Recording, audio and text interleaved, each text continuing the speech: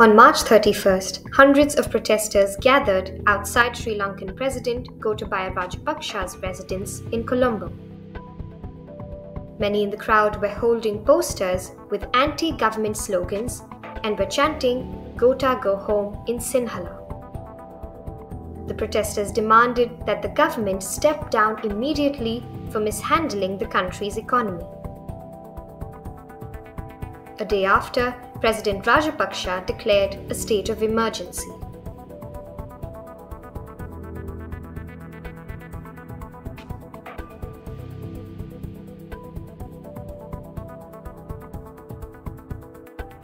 Sri Lanka is witnessing its worst economic crisis since independence.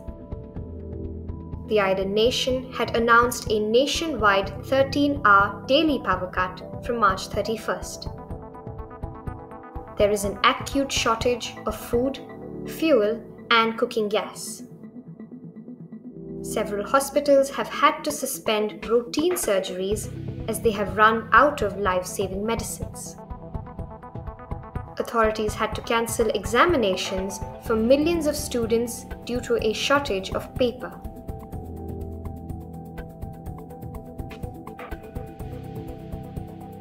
During the first wave of the pandemic, thousands of Sri Lankan labourers working in several West Asian countries were forced to return home. The pandemic meant that the garment factories and tea estates in Sri Lanka could not function. All the key foreign exchange earning sectors, such as exports, remittances, tourism, were brutally hit. In response, the government adopted various policy decisions that were widely deemed ill advised.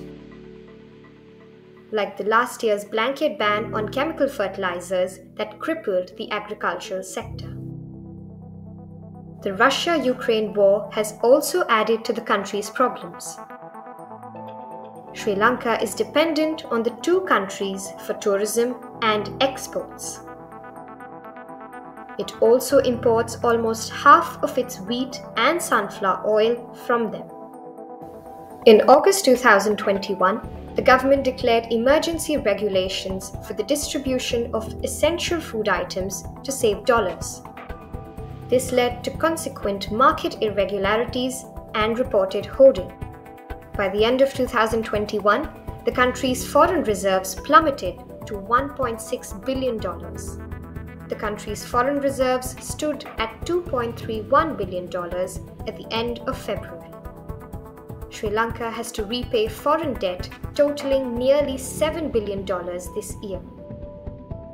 President Rajapaksa recently said that the country will incur an import bill of $22 billion this year, resulting in a trade deficit of $10 billion. The country is in talks with the International Monetary Fund for possible loan assistance. India has extended assistance totaling $2.4 billion. This includes a $400 million RBI currency swap, a $500 million loan deferment, and credit lines for importing food, fuel, and medicines. China is also considering a fresh request from Colombo for $2.5 billion in assistance. Experts say that Sri Lanka's recovery will neither be fast nor easy.